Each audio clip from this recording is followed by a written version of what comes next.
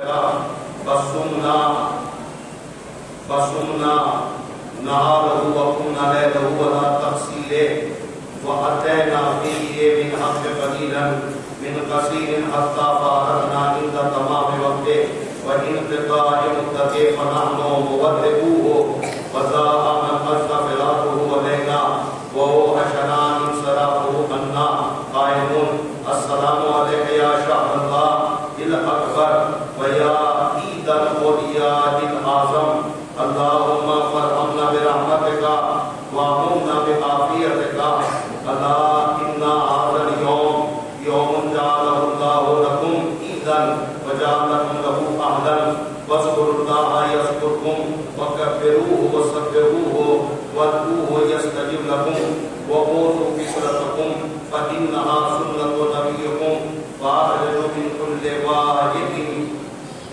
من خيالكم ساعة من ذكر وشهير أو طمعين إنا أحسن الحديث كلام الله الحكيم بسم الله الرحمن الرحيم. قال عليه الصلاة والسلام، ليس العيد لمن ليس الجديد. صلوات محمد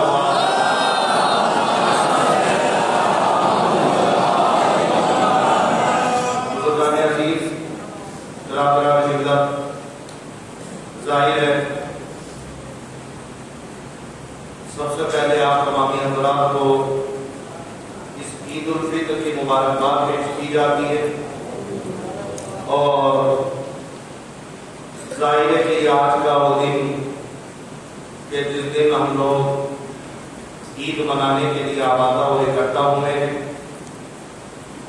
لیکن ہماری کوئی بھی عید اور ہمارا ایک کوئی بھی غم اور ہماری کوئی بھی عبادت اور ہمارا کوئی بھی عمل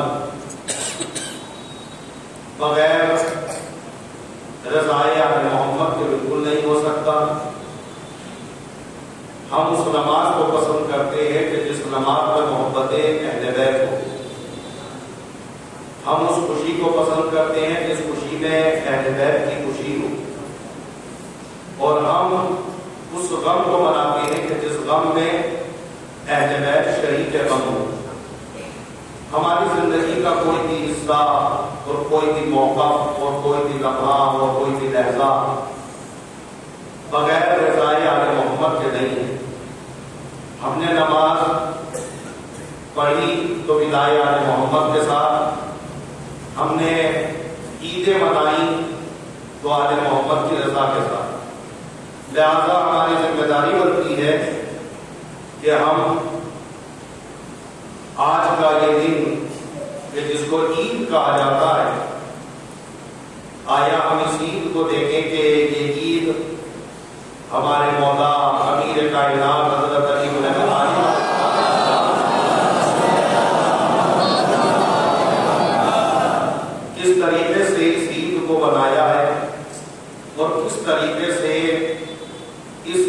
کا حکم دیا۔ ہے جو ہمارے مولا نے کہا، اس کو ہمیں ماننا چاہیے اور اس کا ہمیں احترام کرنا چاہیے۔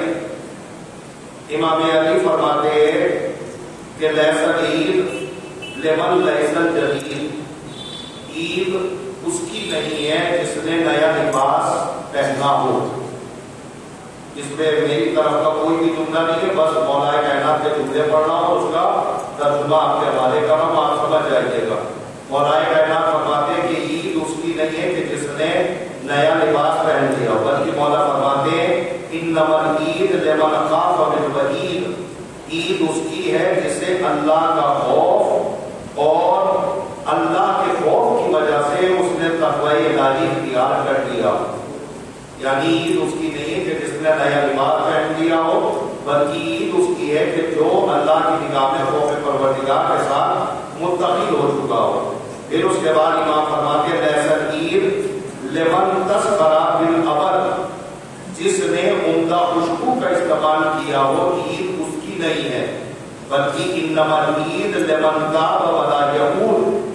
عید اس کی ہے جس نے اپنے گناہوں کی توبہ کی اور پھر اس پر قائم رہا۔ یعنی عید اس کی نہیں ہے کہ جس نے نیا کپڑا پہنا ہو، جس نے خوشبو لگائی ہو، بلکہ عید اس کی ہے کہ جس نے تقوی الہی اختیار کیا ہو، جس نے توبہ کی ہو، اس توبہ کے اوپر برقرار رہے۔ ماہ مبارک رمضان میں بہت ساری دعائیں اور بہت ساری نمازیں۔ ہم نے صرف اس لیے پڑھی کہ مولانا صاحب نے بتلایا کہ اس عمل کو کرنے سے اتنے سال کے گناہ معاف ہوتے ہیں، اس عمل کو کرنے سے جو ہے وہ اتنے سال کی بخشش ہو جاتی ہے۔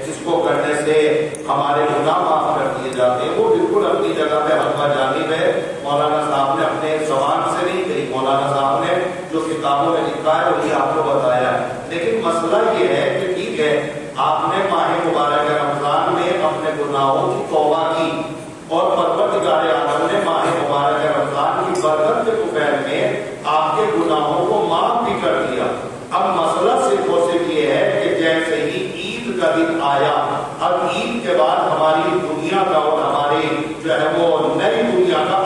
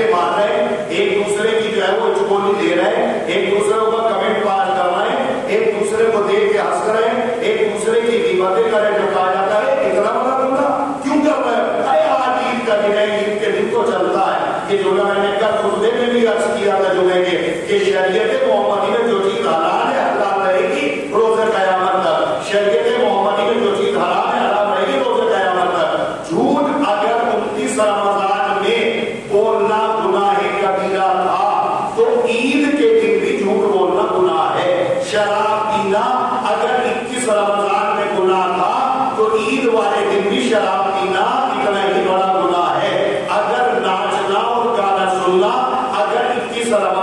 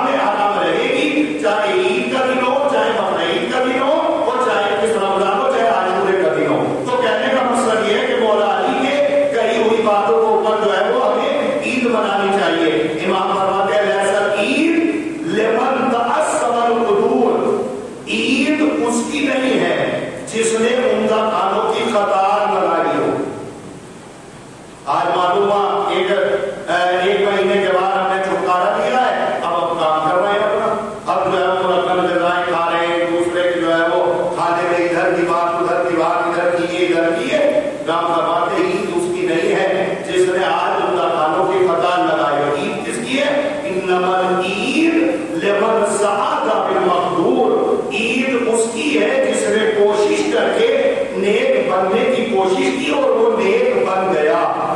عید اس کی نہیں ہے جس نے اچھا کھانا کھایا، بلکہ عید اس کی ہے جس نے نیک بننے کی کوشش کی اور نیک بن گیا۔ پھر اس کے بعد امام فرماتے ہیں لیسر عید لمن تزینا بزینت الدنیا عید اس کی نہیں ہے جس نے دنیا کی زیب و زینت اختیار کی ہو۔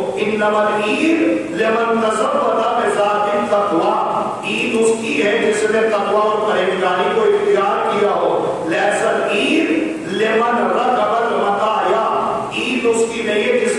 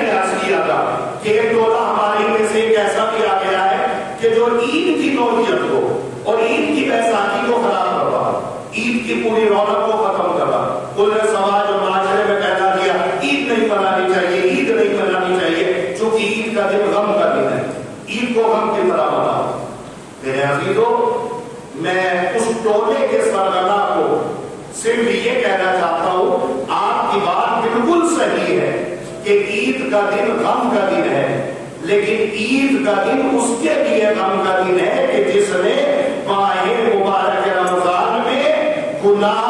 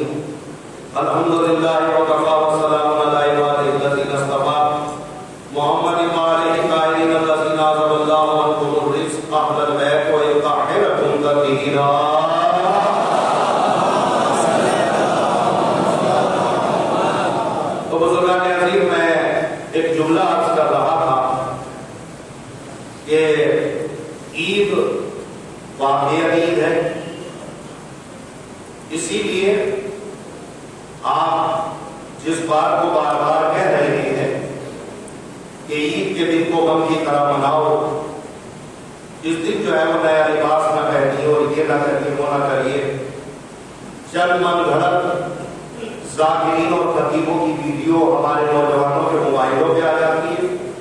وہ ان کے اوپر آگ بند کر کے عمل کر دیتے ہیں، جس میں ایک ضعیف روایت جو ہے وہ ایک ذاکر پڑھ رہا ہے۔ کہ میں عید کے دن جو ہے وہ میں نے کتابوں میں پڑھا ہے کہ میں عید کے دن جو ہے وہ امام کے گھر گیا تو امام کالا لباس پہن کے جو ہے وہ گھر سے باہر آ مطلب ایک ذاکر ہے جس نے پڑھ لیا۔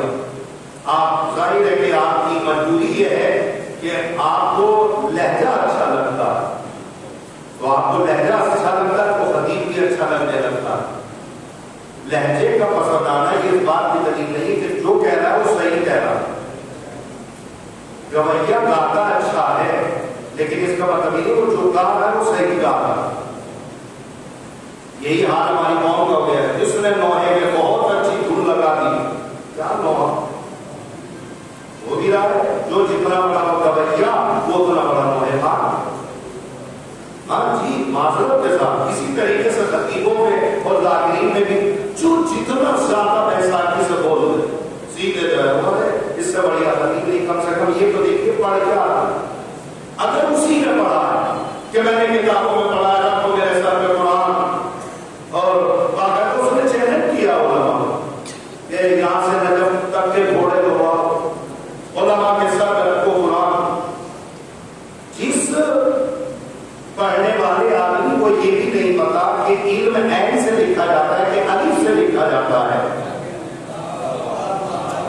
وہ علم کے گھوڑے نجم تک دوڑ رہا اور وہ علماء کے سر پر رکھ کے قرآن رکھنے کی بات کر رہا آپ کو حیرت نہیں ہو میں یہ بات کیوں کہہ رہا ہوں میں یہ بات نوجوانوں سے اس لیے کہہ رہا ہوں کہ نوجوانوں سے گزارش ہے کہ اگر کسی خطیب کا اچھا لہجہ اگر آپ کی یوٹیوب یا آپ کے فیس بک پہ اور واٹس ایپ پہ اگر وائرل ہو تو برائے مہربانی اس کے اوپر آنکھیں بند کر کے یقین نہ کریے بلکہ اس کی تحقیق کریے آپ کی مسجد میں جو بھی پیش امام ہے آپ ان سے تحقیق کرائیے کہ آپ خود الحمدللہ جب آپ مولانا اپنے پیش امام کی تحقیق کر سکتے ہیں کہ یہ کس گاؤں کے رہنے والے ہیں۔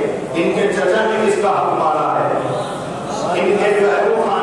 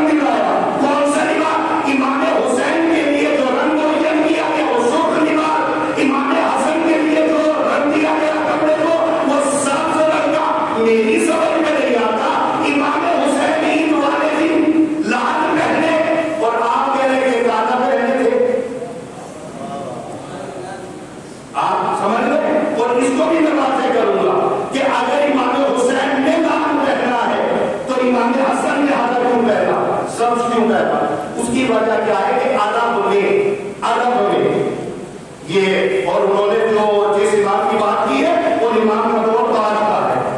امام حسن امام حسین کو پہلے آ جائیں گے۔ وہ جو ادب میں جو آدمی جیسا لباس تہوار یعنی عید والے یعنی خاص موقع پہ جو آدمی جیسا لباس پہنتا تھا، ویسا اس کی شخصیت سے انسان مانوس ہو جاتا تھا۔ امام حسین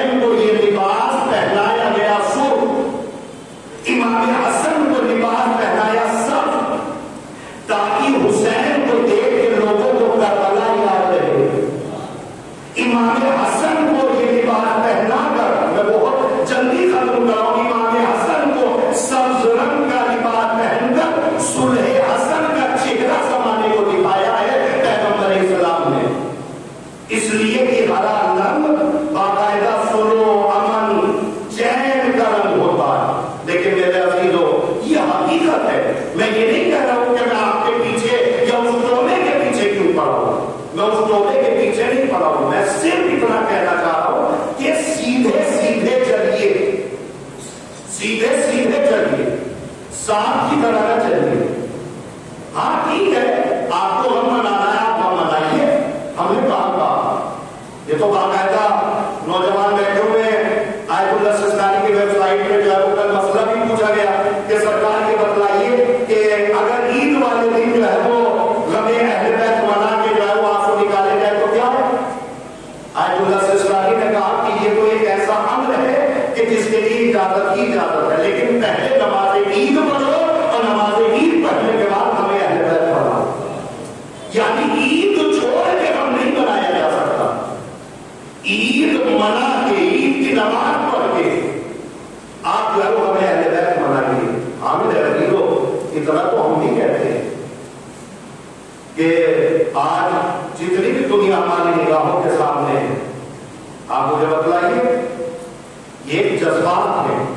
جذبات کا مطلب یہ نہیں ہے کہ آپ عید کی حقیقت کو بالکل ختم کر دیے ہاں اب آپ میرے ساتھ چلیں گے کہ جس کے گھر میں اگر پنچانوے یا اسی سال کا اگر بزرگ باپ بھی مر جائے، تو ہمارے سماج اور معاشرے میں وہ گھر عید نہیں مناتا۔ کہا یہ جاتا ہے نہیں، ہم عید نہیں منائیں گے۔ میرے عزیز ہو اور ہمارے یہاں ہوتا بھی ہے کہ اگر کسی کا انتقال ہو جائے تو وہ گھر عید نہیں مناتا۔ میرے عزیزوں مجھے اس بات کے اوپر رونا آتا ہے کہ جس گھر سے ایک جنازہ نکل جائے، جب وہ گھر عید نہیں مناتا تو جس گھر سے بہتر جنازے نکل گئے ہوں، ان گھر والوں نے عید کیسے منائی؟ ہو ہاں یہ جملہ تو تاریخ میں ملتا ہے۔ کہ جب عید کا دن آیا، تاریخ میں لکھا ہے کہ لوگ عید کی نماز پڑھ کے باہر مبارکباد دیتے ہوئے جا رہے تھے۔ اچانک تاریخ کہتی ہے کہ جناب لیلا کی چیخ نکل گئی۔ سبق کے جناب آئی تو ہے۔ آپ کو جگہ پہ رہتا ہے تاکہ بھی ماں کی تیزا ہو میں دروازے کی اور سے نہیں نکاح پڑ گئی تو جواب جا رہے تو آپس میں گلے